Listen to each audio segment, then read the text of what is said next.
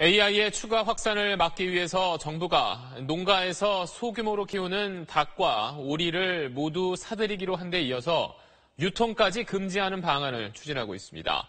이래서 학교에서 교육용으로 키우던 공작새까지 살처분하고 있습니다. 이용식 기자입니다. 작은 농가에서 방역 공무원들이 토종닭들과 쫓고 쫓기는 숨바꼭질을 벌입니다. 토종닭 8마리를 겨우 닭장 속으로 몰아넣은 뒤 한 마리씩 붙잡아 자루에 담습니다. 너무 속상해요. 이거 알아놨어 빼먹을 재미로 한 마리씩 잡아먹고. 근데 느닷없이 이렇게 닭을 잡아가 버려. 화물칸에 실린 채 자루 틈으로 머리를 내밀고 울어대는 토종닭들. 바라보는 농민들 마음도 편치 않습니다. 건강히 멀쩡히 자라는 이 닭들을 가지고 가겠다는 나는 절대 반대예요.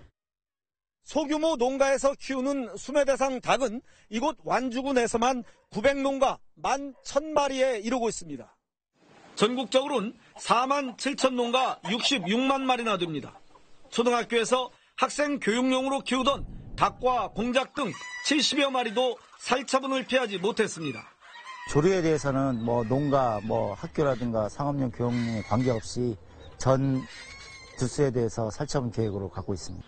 정부는 앞으로 AI 전파의 통로로 지목된 전통시장에서 살아있는 닭을 사고 팔지 못하게 하는 방안까지 추진하기로 했습니다. 하지만 영세 상인과 소규모 사육 농가에 대한 뚜렷한 지원 대책은 내놓지 않아 추진 과정에서 적잖은 진통이 예상됩니다. SBS 이용식입니다.